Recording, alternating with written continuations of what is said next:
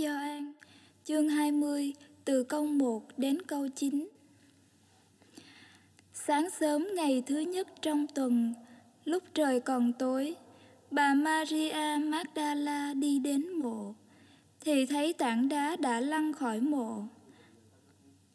Bà liền chạy về gặp ông Simon Phêrô và người môn đệ Đức Giêsu thương mến. Bà nói: Người ta đã đem chú đi khỏi mộ và chúng tôi chẳng biết họ để người ở đâu. Ông Phêrô và môn đệ kia liền đi ra mộ. Cả hai người cùng chạy, nhưng môn đệ kia chạy mau hơn ông Phêrô và đã tới mộ trước. Ông cúi xuống và nhìn thấy những băng vải còn ở đó, nhưng không vào. Ông Simon Phêrô theo sau cũng đến nơi. Ông vào thẳng trong mộ, thấy những băng vải để ở đó và khăn che đầu Đức Giêsu.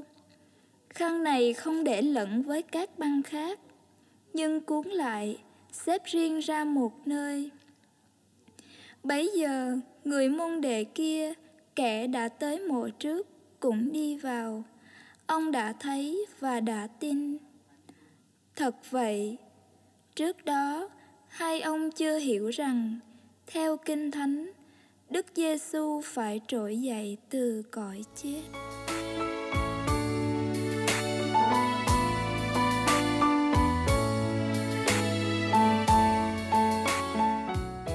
Quý vị và các bạn thân mến, Chúa đã sống lại.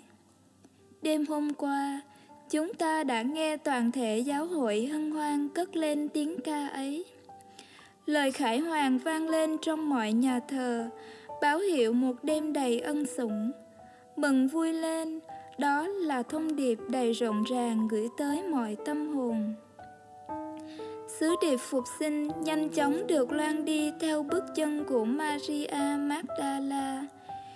Biến cố ngôi mộ trống, tảng đá đã lăn ra khỏi mồ, không còn nhìn thấy xác Chúa Giêsu đâu cả.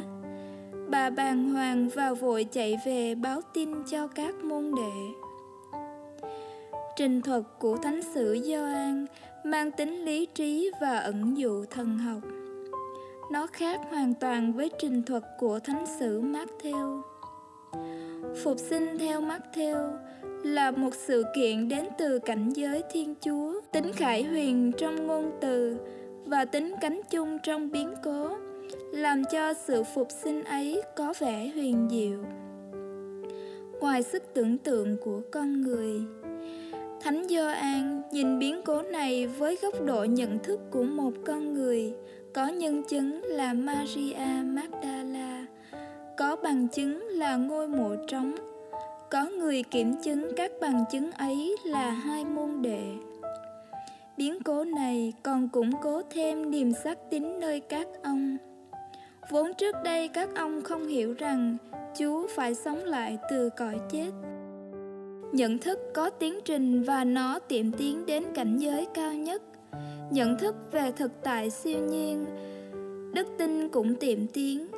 Khi nhận thức của đức tin tiệm cận với cảnh giới vượt qua sức con người, thì con người có thể nhìn lại toàn thể lịch sử để chiêm nghiệm ra thực sự sâu xa hơn mà ở đây chính là sự phục sinh của Chúa Giêsu.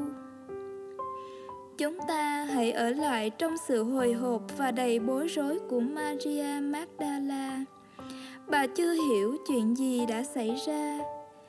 Chúng ta cũng hãy ở lại trong sự háo hức, chạy đến để xem chuyện gì thực sự đã xảy ra như Gioan và Phêrô. Và sau đó, các ông nghiệm thấy lời Chúa nói trước đây quả là linh nghiệm. Chúng ta hãy ở lại trong niềm vui hân hoan của ngày phục sinh. Mọi u tối sẽ tan đi, mọi đau khổ sẽ tan biến, mọi sự dữ cũng không còn. Mọi sỉ nhục cũng không còn đụng chạm đến chúng ta nữa, bởi Chúa đã chiến thắng sự chết và khải hoàn lạy Chúa Giêsu phục sinh. Chúng con hân hoan ca tụng quyền năng Chúa. Xin cho chúng con tin tưởng vững vàng vào mầu nhiệm cao sâu này đó là toàn thể hy vọng của chúng con Amen.